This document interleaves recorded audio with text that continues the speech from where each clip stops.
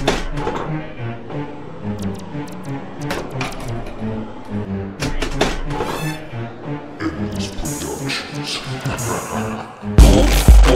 ned, ned. Fram, fram, tilbake. Opp, opp, ned, ned. Fram, fram, tilbake.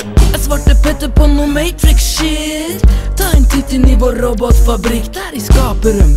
Her i tegner og lager dem. Her i kommer på samlebånd før de chippes til lageret. Alle dronene, robotfedrene og konene. De får leve regler ferdig programmert inn i hodene. Gjennom kabler og skjermer blir de fora med informasjon. Og de tror på hvert ord som de hører. De spør ikke, vil ikke, tør ikke, kan ikke. Nei, de er altfor mekaniske, kalde og metalliske. Har ikke en tanke i skallen sin.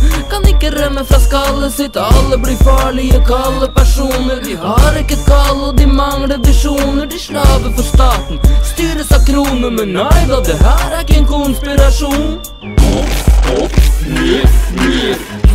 Fram, fram, tilbake. Opp, opp, ned, ned. Fram, fram, tilbake.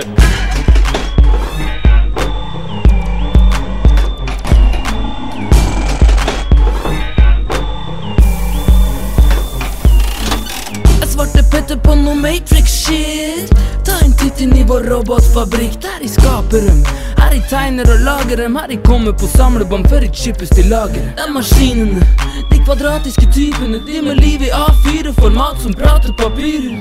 Gutta, det er alltid flertall i styret. Der hvor hjertet skulle vært, er bare batterisyre. Har ikke humor eller er ikke programmert til å tulle. Alt som surrer inn i huet, er bare ett tall og nuller. Bare selger og kunder, lange gangetabeller. Intrikate algoritmer skapt av andre modeller de selger. Alt de tenker på er sedler og penger. Kan ikke tenke lenger, tall er deres eneste venner. Reflekterer ikke mer over det de har lært. Det er sånn det går når alle tenker binært.